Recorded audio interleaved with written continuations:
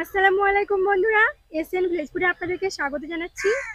আজ আমরা আবারও চলে এসেছি, তো আজ আমরা আলু আর ডিম দিয়ে একটা নাস্তা বানাবো।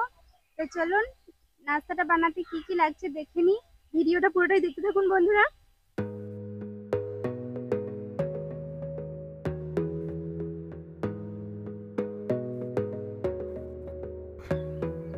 বন্ধুরা, আমরা রান্নাশালায় চলে এসেছি, আপনাদের বলে দিই কি কি নিয়েছি। তো আলু আর ডিম দিয়ে নাস্তা বানানোর জন্য নিয়ে নিয়েছি আলু, ডিম, পেঁয়াজ কুচি, টমেটো, শাহি গরম মশলা, লঙ্কা গুঁড়ো, লবণ, কর্নফ্লাওয়ার, সামাই কুচি। সামাইটা আমি গুঁড়ো করে নিয়েছি আর নিয়েছি ময়দা। চলুন এবার শুরু করি। তো আমি চুলাটা ধরিয়ে নেব। আলুগুলো সেদ্ধ করতে হবে। আলুগুলো ছুলে নিচ্ছি প্রথমে।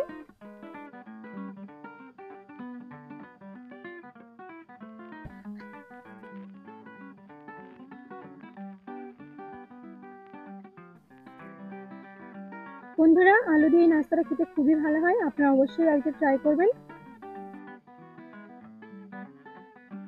বাচ্চারা এটা খেতে বেশি পছন্দ করে।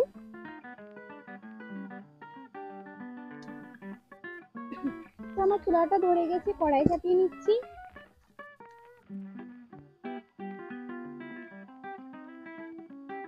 কড়াইটা একটু পানি দিয়ে ধুয়ে নিচ্ছি। প্রথমে আলু আর ডিমটা সেদ্ধ করে নেব।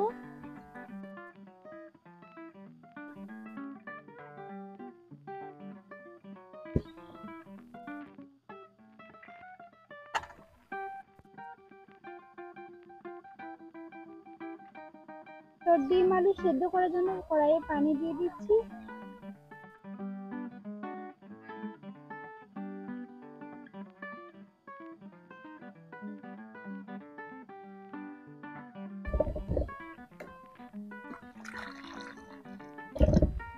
ডিমটা একটু ধুয়ে দিয়ে দিচ্ছি।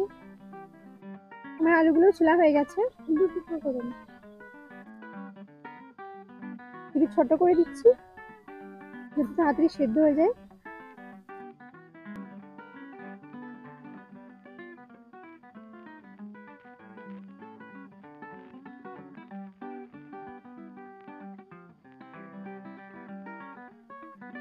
আমি জায়গাটা একটু পরিষ্কার করে নিচ্ছি। আমি আলুগুলো ধুয়ে দিয়ে দিচ্ছি। ভালো করে ডিম আলু সেদ্ধ করে নেব। সেদ্ধ করার জন্য ছেড়ে দিচ্ছি।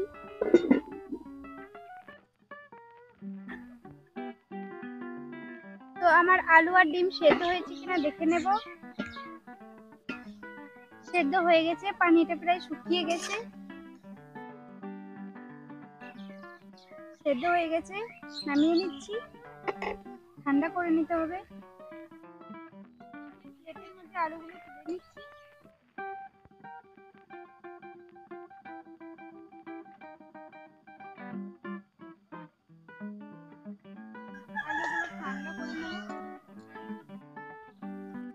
ডিমটা আমি ছুলে নিচ্ছি।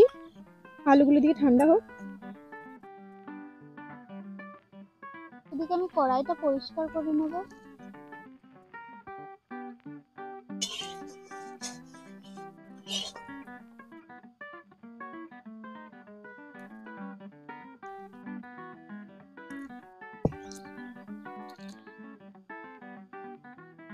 আলুগুলো আমার ঠান্ডা হয়েছে কিনা দেখে নেব। হাতে করে চটকে নিচ্ছি। একটু গরম আছে, ভালো করে ঠান্ডা করে নেব, তারপর চটকে নেব। তোমার ঠান্ডা হয়ে গেছে। ভালো করে চটকে নিচ্ছি।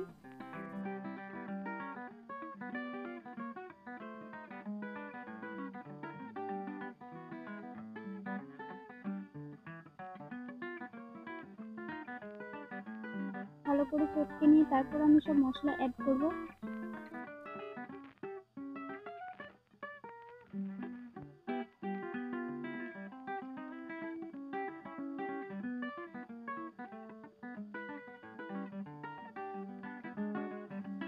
আলুটা আমার চটকানো হয়ে গেছে এবার একটা গ্রেটার দিয়ে সেদ্ধ ডিমটা গ্রেট করে নেব।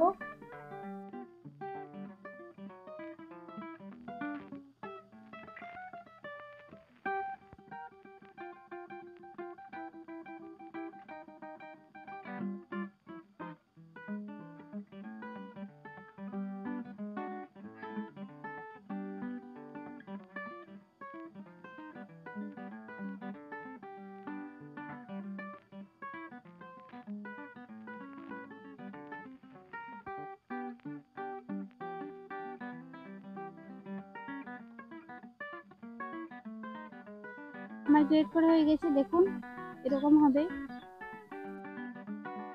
এরপর দিয়ে দিচ্ছি লবণ, স্বাদ অনুযায়ী।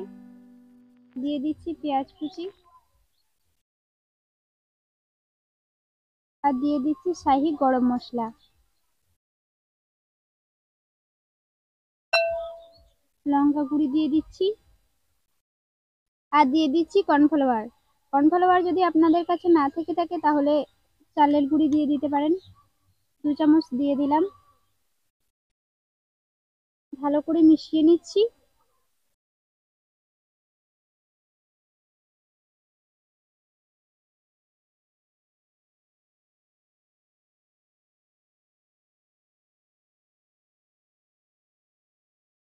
মিশিয়ে নিলাম।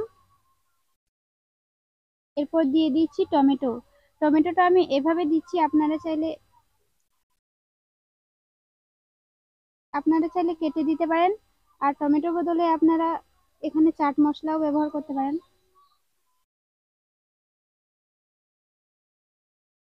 এটা ফেলে দিচ্ছি। মিশিয়ে নিচ্ছি ভালো করে।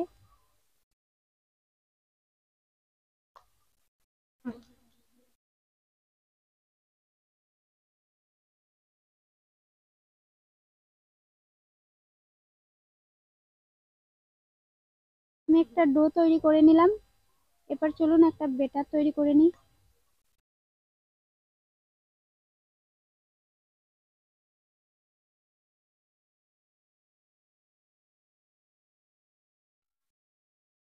তো আমি এক কাপ ময়দা নিয়ে নিচ্ছি। এটাতে আমি দু কাপ পানি অ্যাড করে দেবো।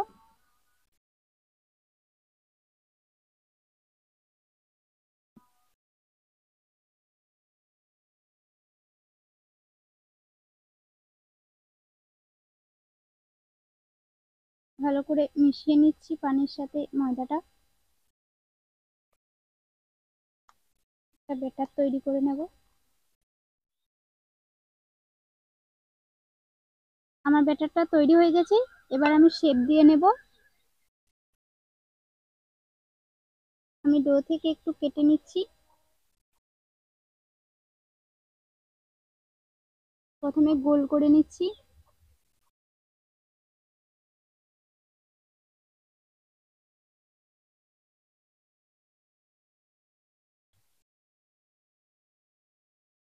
তো প্রথমে আমি একটা গোল শেপ দিয়ে নিলাম, তারপর হাতে করে, দুই হাতে করে এভাবে একটু শেপটা করে নেব।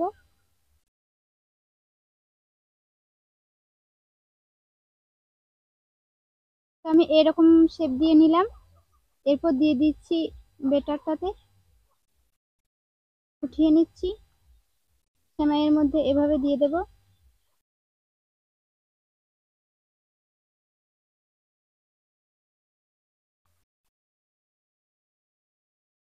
আমি এভাবে সবগুলোই শেপ দিয়ে নেব।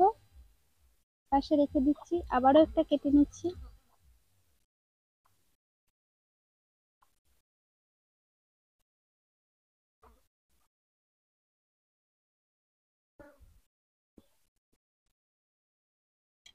তো সবগুলোই আমার শেপ দেওয়া হয়ে গেছে। চলুন এবার চুলাতে কড়াই চাপাতে হবে।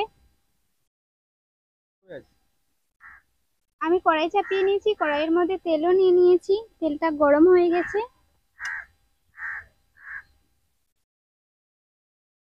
আমি একটা একটা করে দিয়ে দিচ্ছি।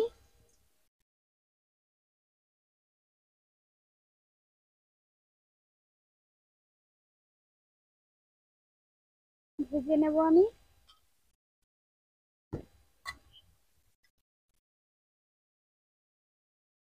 পাল্টে নিচ্ছি, ভালো করে ভেজে নেব।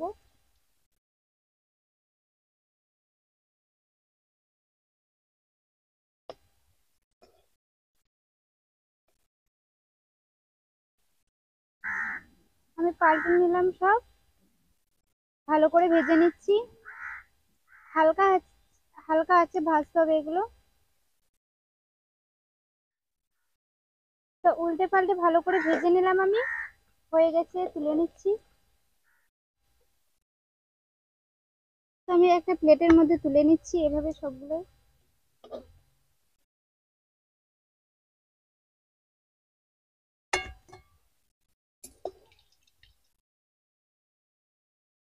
বাকিগুলো ভেজে নেব এভাবে। আমি আবারও দিয়ে দিচ্ছি।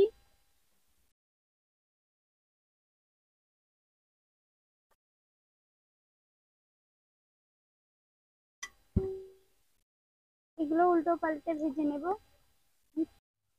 আমার এগুলো ভাজা হয়ে গেছে, তুলে নিচ্ছি।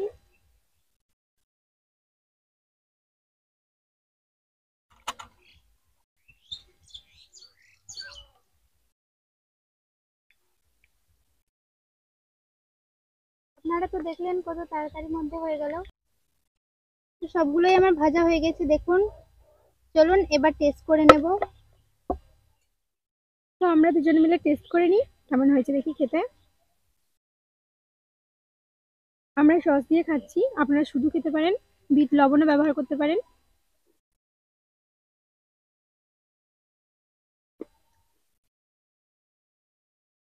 খুবই মুচমুচে হয়েছে এটা খেতে, খুবই ভালো হয়েছে। আপনারা তো দেখলেন, খুব কম উপকরণ লেগেছে, এটা বানাতে অবশ্যই একবার ট্রাই করবেন। ভালো লাগলে লাইক দেবেন এবং কমেন্ট করে জানাবেন। বাড়িতে বাচ্চারা এটা খেতে খুবই পছন্দ করবে। আপনারা অবশ্যই বাচ্চাদেরকে বানিয়ে দিতে পারেন।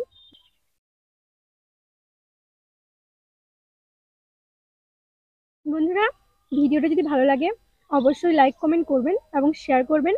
আমাদের চ্যানেলটা সাবস্ক্রাইব করবেন, পাশে থাকা বেল আইকনে ক্লিক করে অল নোটিফিকেশনটা অন করে নেবেন। যাতে নতুন কোনো ভিডিও দিলে আপনারা সবার প্রথমে তার নোটিফিকেশন পেয়ে যান। আজকের মতো এখানেই বিদায় নিচ্ছি। সবাই সুস্থ থাকবেন, ভালো থাকবেন। পরের ভিডিওতে আবারও দেখা হবে আপনাদের সাথে। আসসালামু আলাইকুম।